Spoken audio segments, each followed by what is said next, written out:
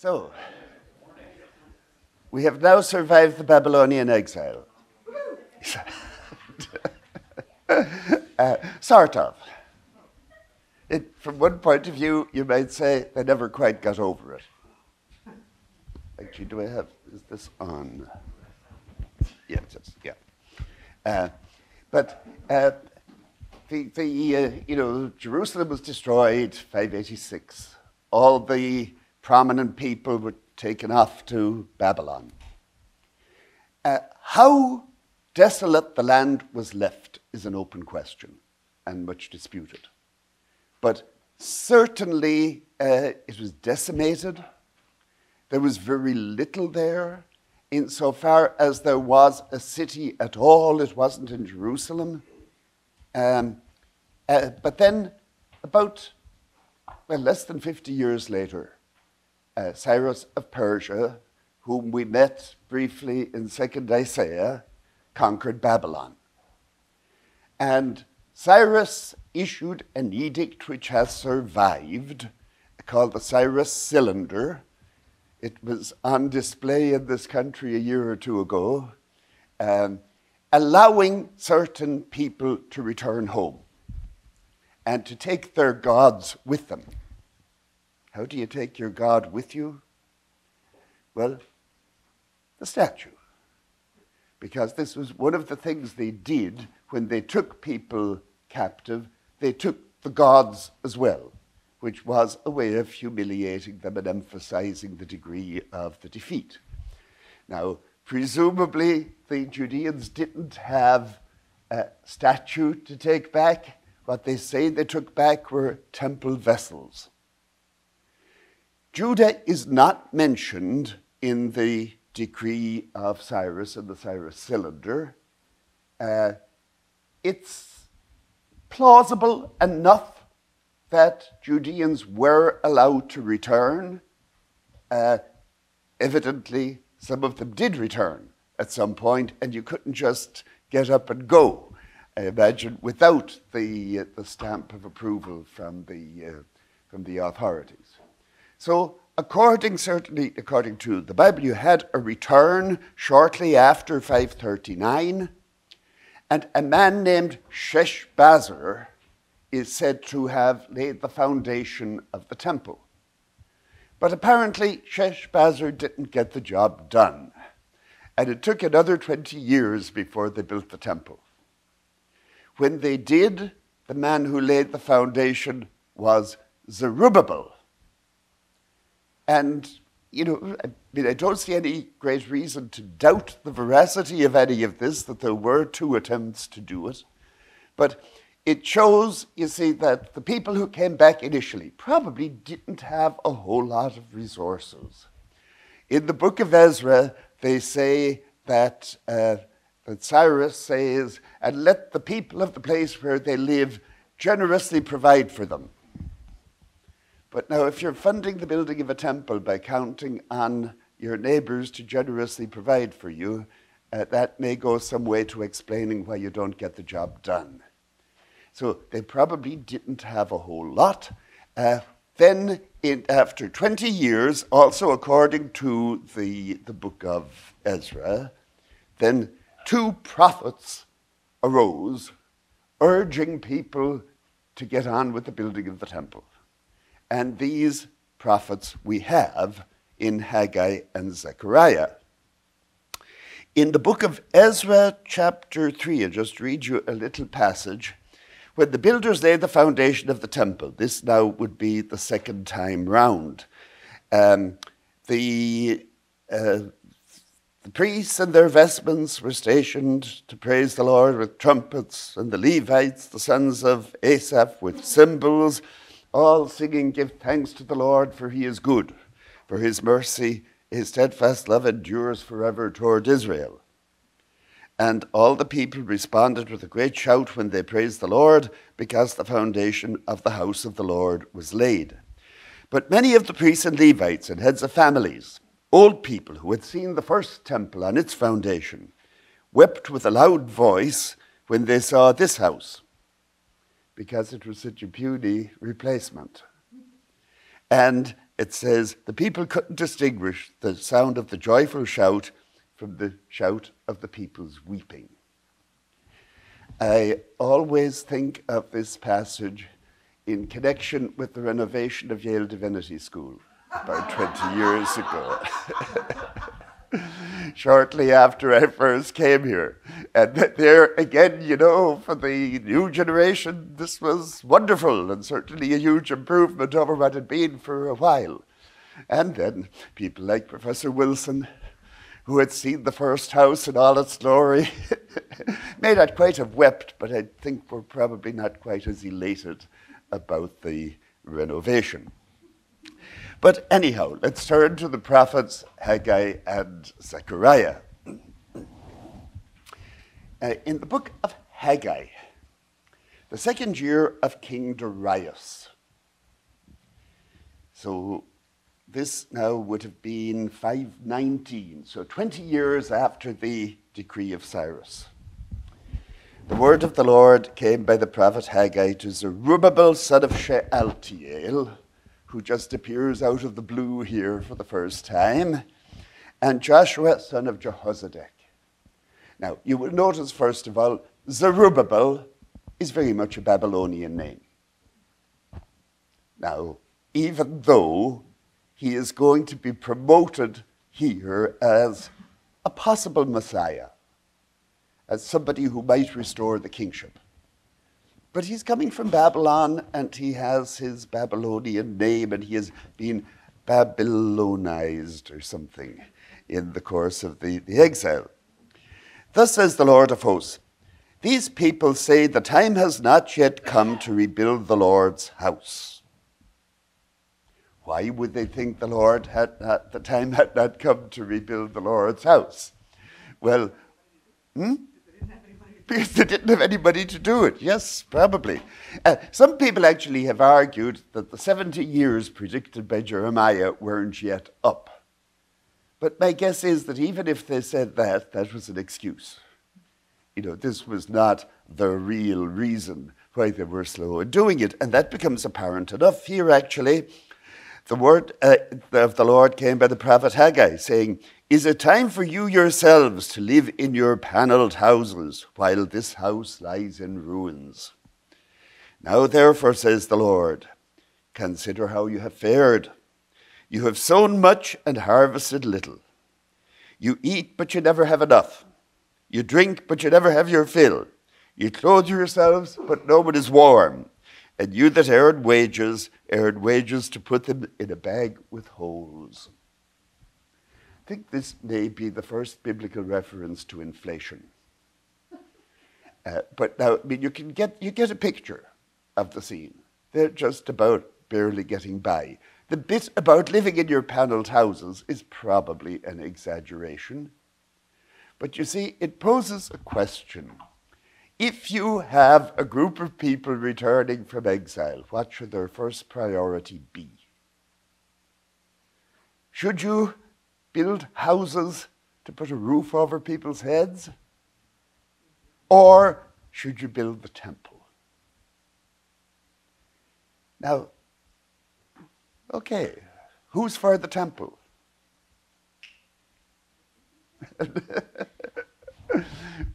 what do you think? Hmm? Yeah.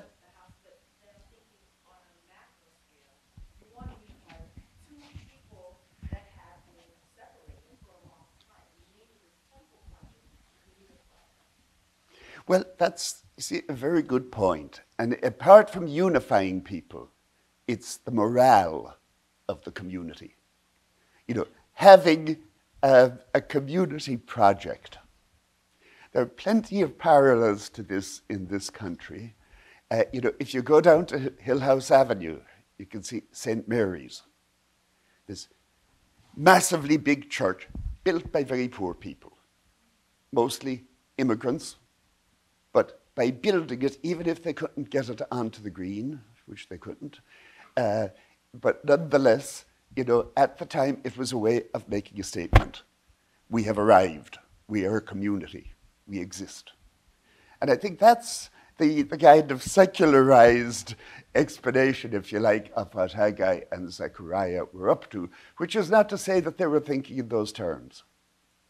I think they may very well have been thinking that, it, because you see, it was very much the traditional theology that the way to ensure prosperity is by the cult. That if God gets his sacrifices, all will be well and everything will work in order. And this would have been very much the common theology of the ancient Near East. And I'm sure this is how Haggai was probably thinking of it.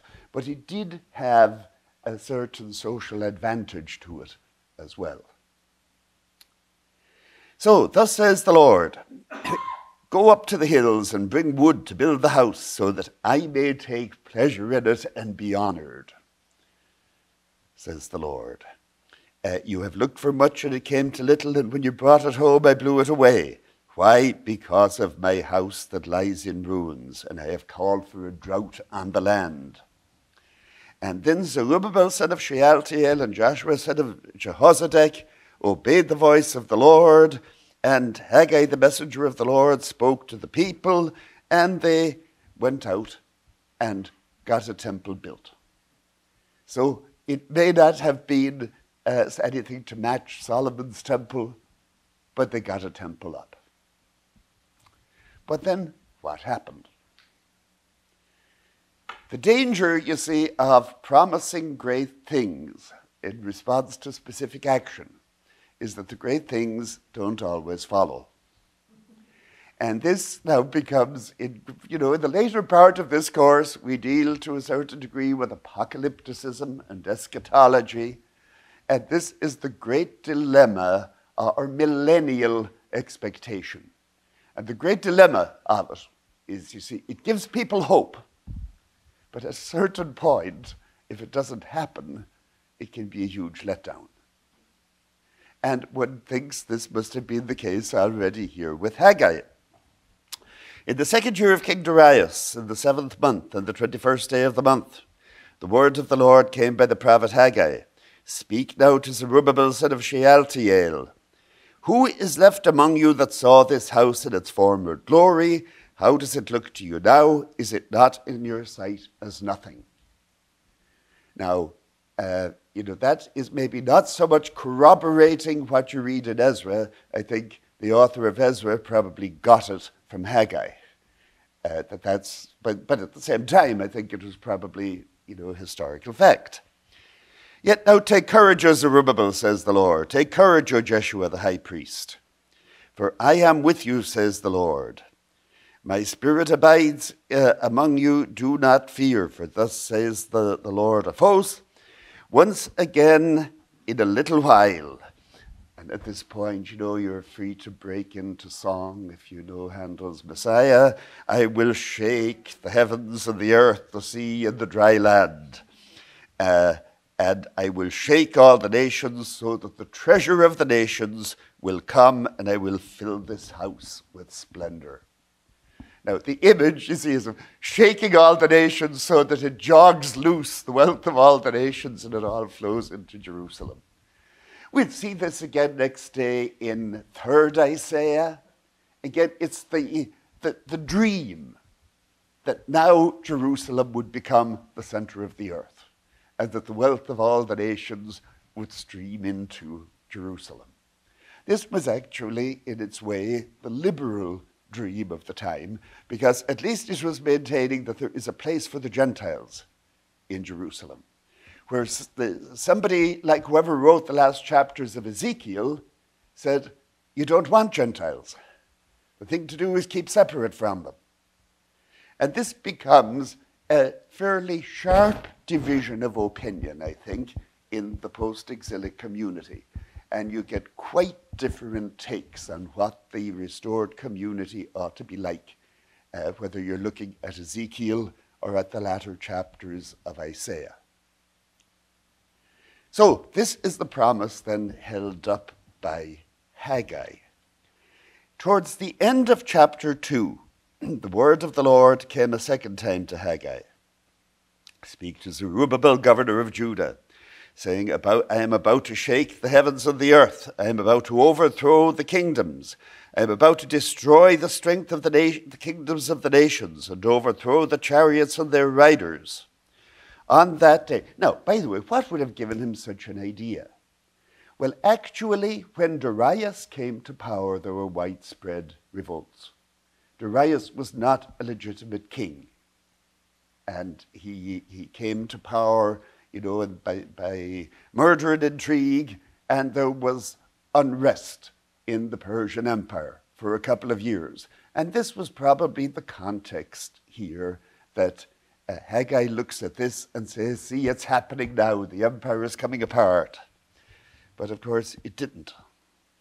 But on that day, says the Lord of hosts, I will take you, Zerubbabel, my servant, son of Shealtiel, and make you like a signet ring, for I have chosen you, says the Lord of hosts. What is a signet ring?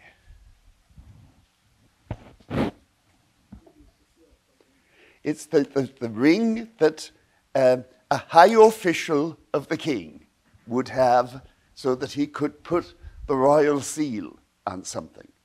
To put the, God's signet ring on Zerubbabel would be to make him God's agent. They don't use the word anointed or Messiah, but that's what it is. You know, this is what the king was.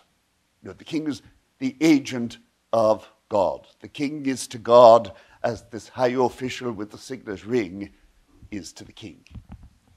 So you know, the question is then, should you say, could you say that Zerubbabel is a Messiah? Now, a Messiah is, to begin with, an anointed agent of God. Some of them were actually anointed with oil, but that isn't really the point. It, the point is that he's the chosen one as he says here.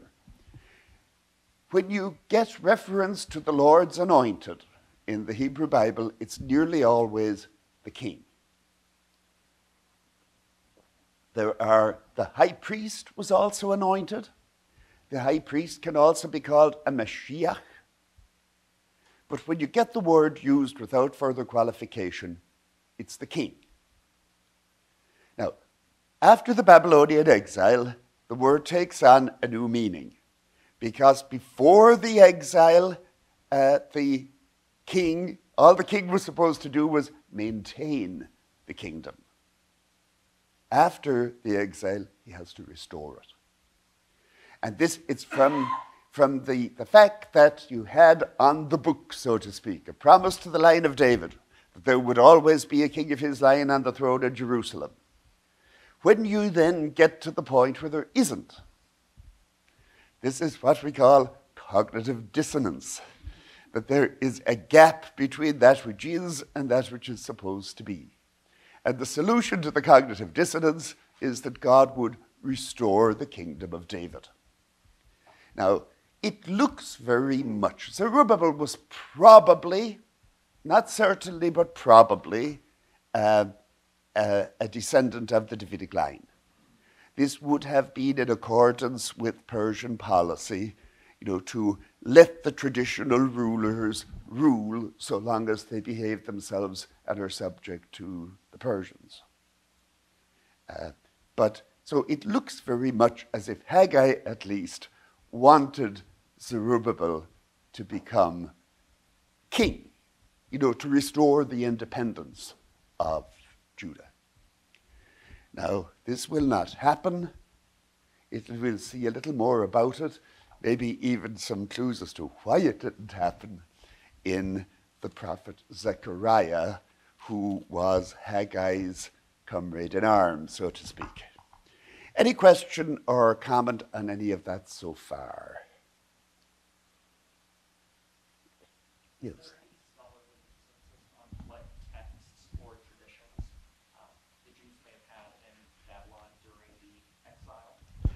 Well, I think the, the consensus would be that what we have in the Hebrew Bible, except for a few very late things, but the Pentateuch, the prophets, and so forth, that they had all of that. in Babylon. And it was they who had it, not the people who were left in the land. Because the exiles to Babylon included the priestly class. These were the people who would have kept the records. You did not have very many people who could read and write. So uh, these were the people you know, who then would get in time to define Judaism. Now, this will all come to a head in the book of Ezra, which we'll get to uh, probably after spring break, I guess. Uh, but um, you know, they, that with Ezra, you have another return, and Ezra is the one who is credited with bringing back the law. And I think the current consensus would be that it's that the law had to be newly put together. There were bits of it that were very old, but that the Torah as we have it probably was a product of the Babylonian exile. Now, some people would say, how could they do that in the exile? But you see, actually, in the exile, they seem to have done okay, uh, as diasporas often do. uh, we have records of a Jewish family in Babylon who went into banking, starting a long and honorable tradition uh, we'll find in the book of Zechariah that the, the prophet says, collect gold and silver from the returned exiles. this is also a long tradition. But um, they had it. You know, they were better off by and large than the people who stayed, who were left in the land. But in any case, uh, it does not seem to me that Haggai and Zechariah had the Torah that at that point, the whole center of the religion was still the temple. Temple first, ideally also the monarchy. And that is what the, the, whole religion had been based around in the whole period before the exile.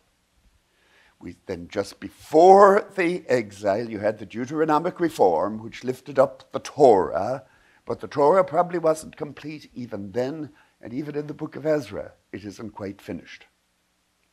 But this was the, it is really during the exile, I think, that the, the Torah emerged as the focus of what it meant to be Jewish. Any other thoughts or questions there? Well, let's go on and look at a bit of Zechariah.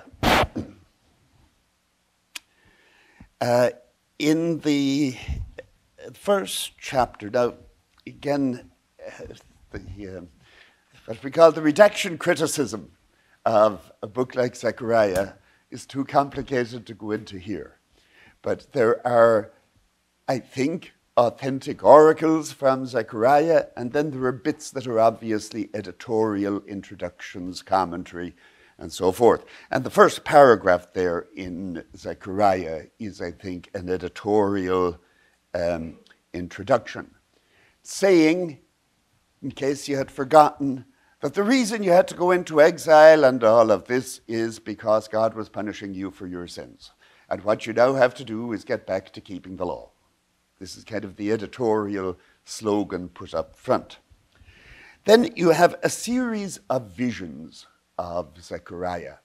And the visions of Zechariah now are more elaborate than most of the visions that we have had up to this point. And they, now, there's some precedent for them, I think, in the visions of Ezekiel. But the real novelty of these visions is that he has to have an angel explain them to him.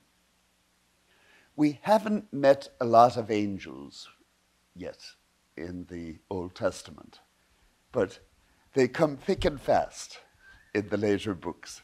They proliferated. And in, according to Jewish tradition, it was in Babylon that they came up with the names of angels. You don't have, the first time you meet a named angel is in the book of Daniel, which is the latest book of the Hebrew Bible in the second century BC. But you do have angels here. Now, you see, um, at any point, at any point in the Old Testament at all, in fact, and if you heard Paula Fredriksen last week, she talked a little bit about this. it's not really monotheism. The assumption is that the heavens are populated. And the point is should you worship more than one God? Is there one God who has supreme power? But there are all sorts of other divine beings that we tend to call angels, but even as late as the Dead Sea Scrolls, they will often just call them gods.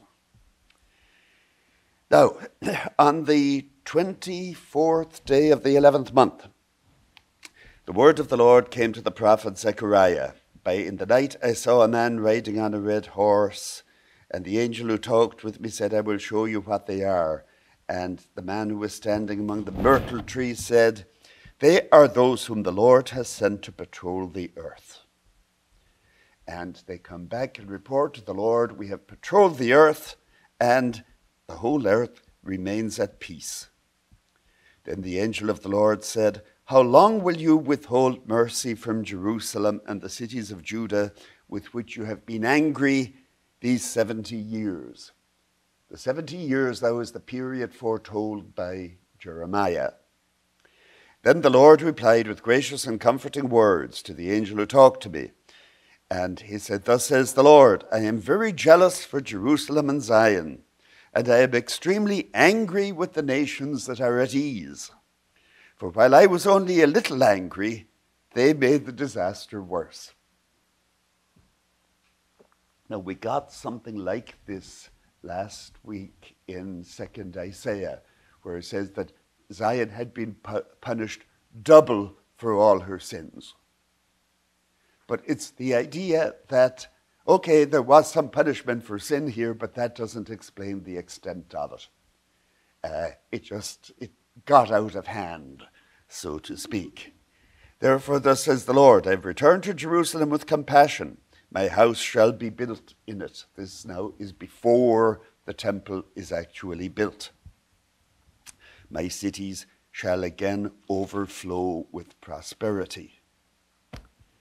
And then he sees a man going to measure Jerusalem to see what is its width, and Jerusalem will be inhabited like villages without walls because of the multitude of people and animals in it.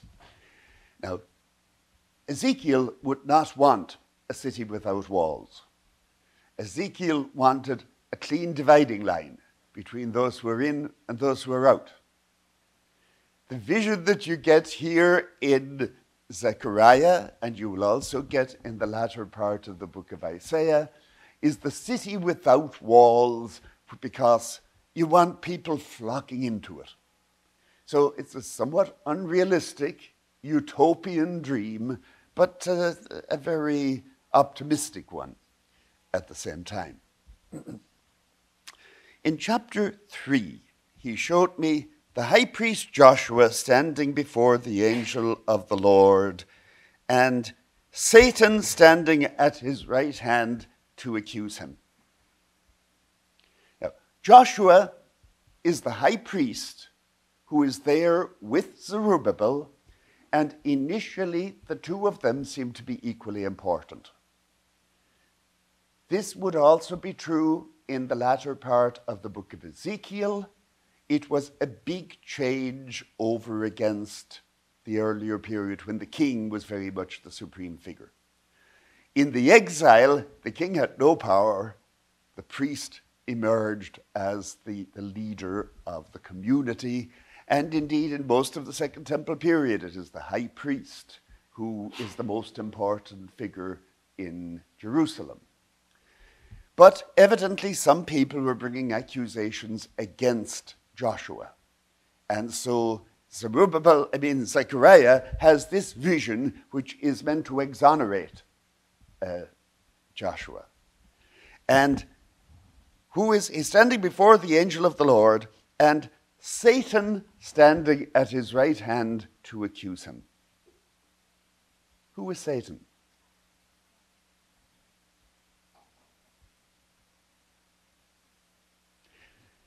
Any of you ever hear of Satan? we, we live in a, a Satan free world. Matt. It's a divine prosecutor. Is he at this point in his life the devil? No. When does he get to be the devil? Not yet in Job. You know, there, there are three places in the Hebrew Bible where Satan shows up. The best known of them probably is Job.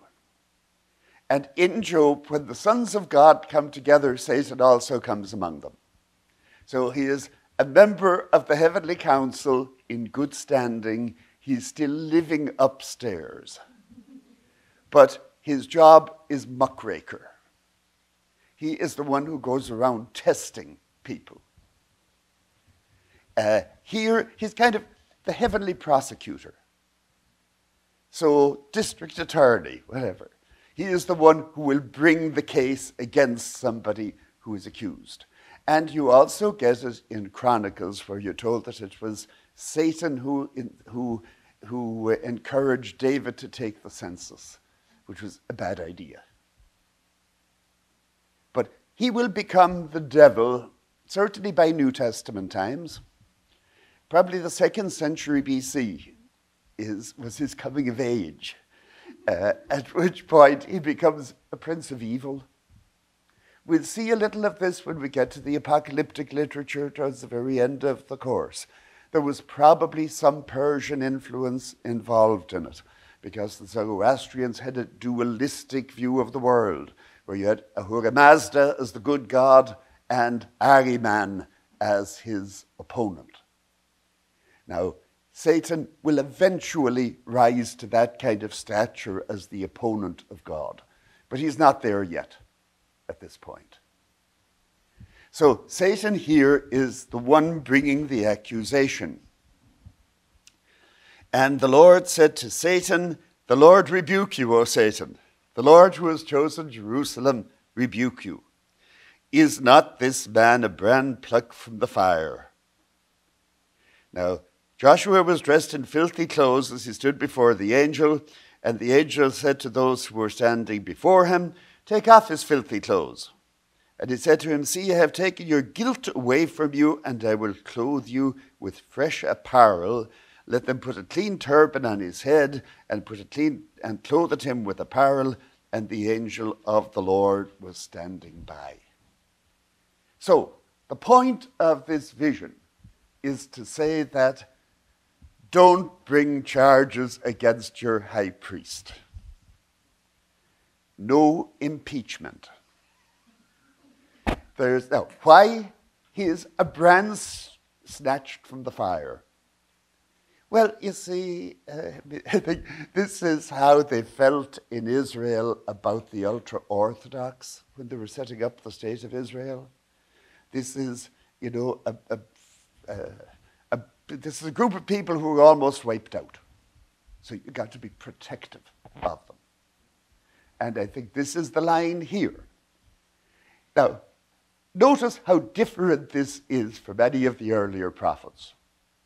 Amos, Hosea, Isaiah, even all go around criticize. They're the critics of the rulers. At this point, Zechariah says the balance has shifted. You can't go on just criticizing the rulers like that. You've got to rally around them. They're all we have left. It's a brand snatch from the fire. We're lucky to be alive at all. And so, what you need to do is rally round them, uh, defend them, protect them. So, it's a totally different attitude to, uh, to the rulers. Also, then it says, you take away his guilt by changing his clothes. Well, you see, this is standard ritual performance, I mean, down to the present day. If you, at baptism, you know, often you have a change of clothing, which is what's supposed to signify a change in your spiritual status or whatever. And in the following chapter, as I am skipping over a chapter, I'll come back to it. In chapter 5, I saw a flying, well, that's, that's the one I wanted. Um, uh, in chapter 5, verse 5, the angel who talked with me came forward and said to me, Look and see what this is that is coming out. And I said, What is it? This is very typical of the visions of uh, Zechariah, that he always has to ask what it is that he's seeing. And he said, This is, that this, that this is a basket coming out. and he said, This is their iniquity in all the land. Then a leaden cover was lifted, and there was a woman sitting in the basket. And he said, This is wickedness. Does it bother any of you that wickedness is a woman?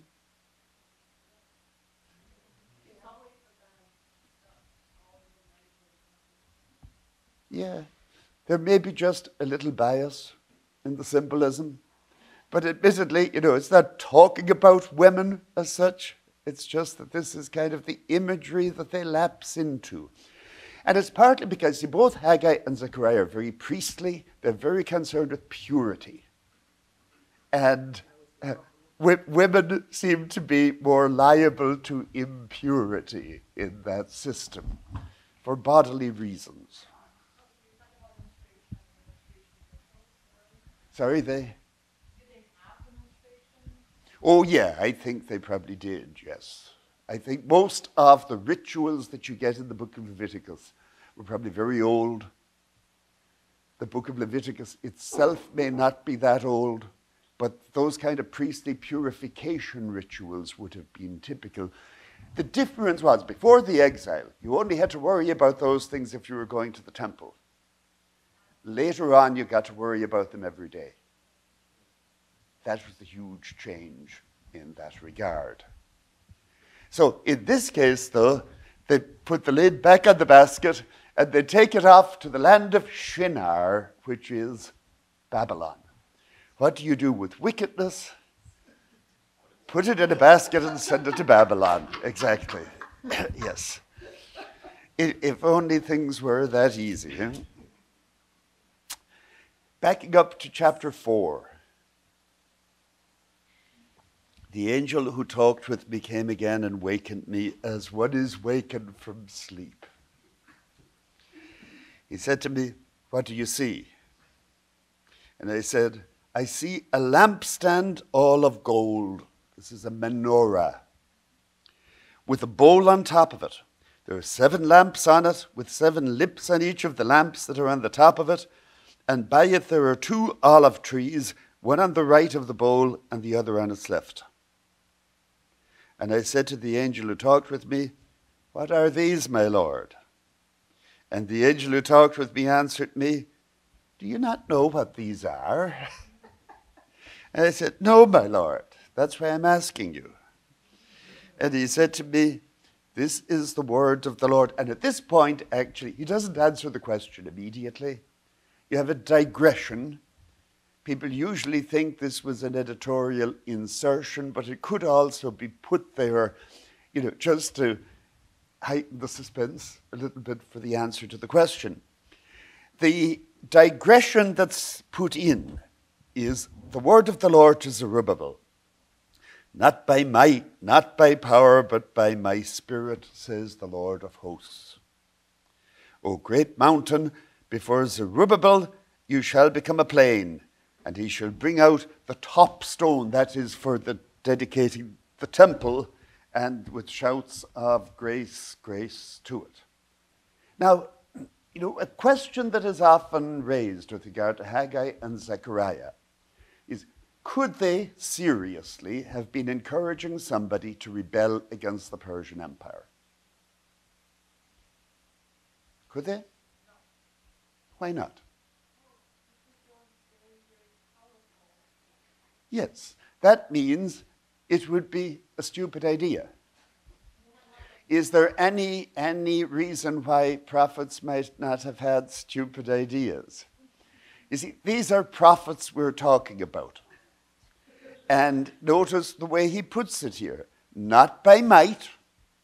So the Persians have a much bigger army, no contest not by power, but by spirit. Now, if you think that the Spirit of God is going to intervene to help you, practical considerations fade into the background. Now, it isn't altogether clear that they were actually expecting him to rebel. I think they more likely they probably thought that God would just somehow cause this to happen.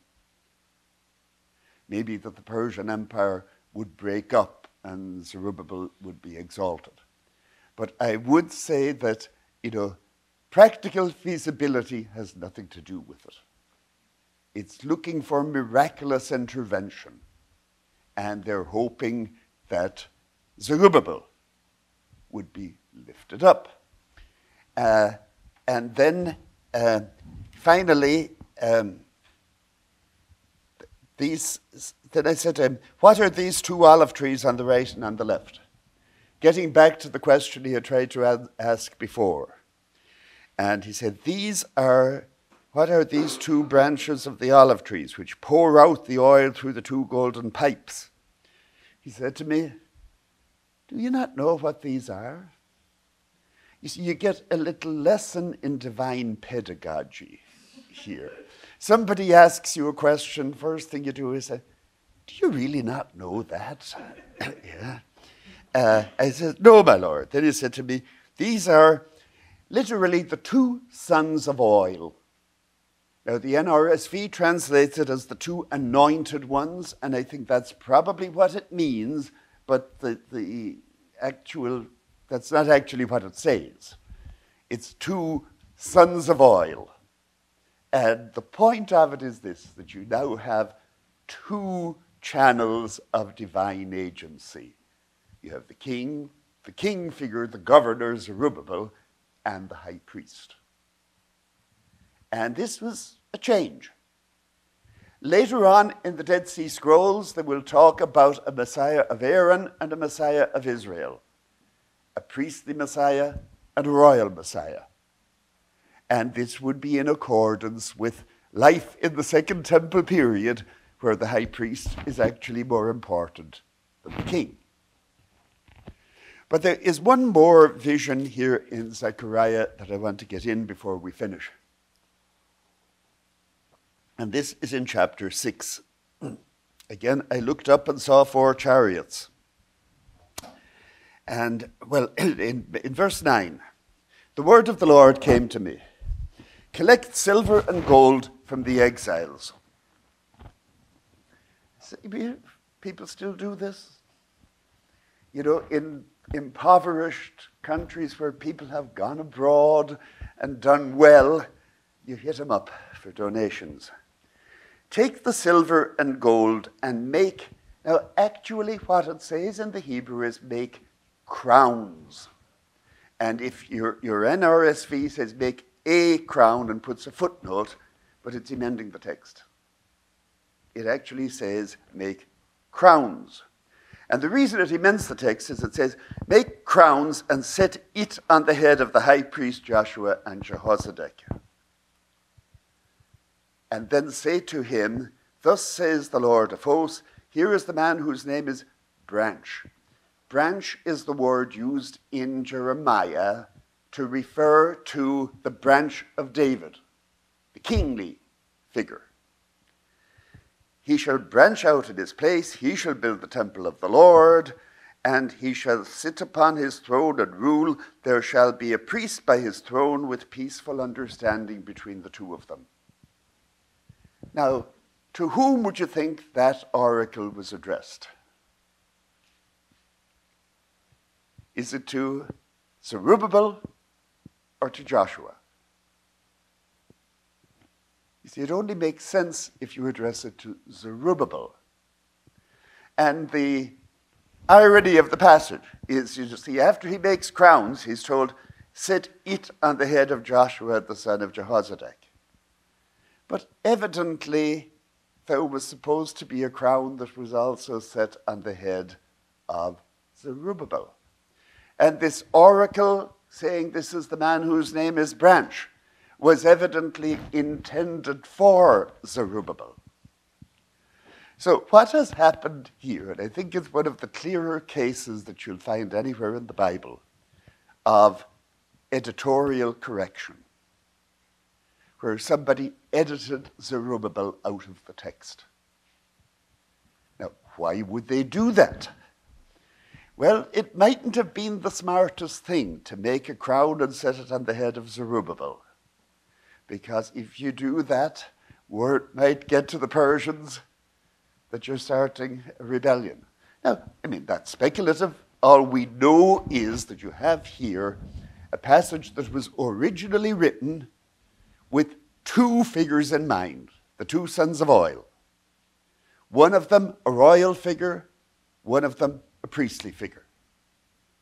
And then the text is edited to eliminate the royal figure from it, to edit him out of the text.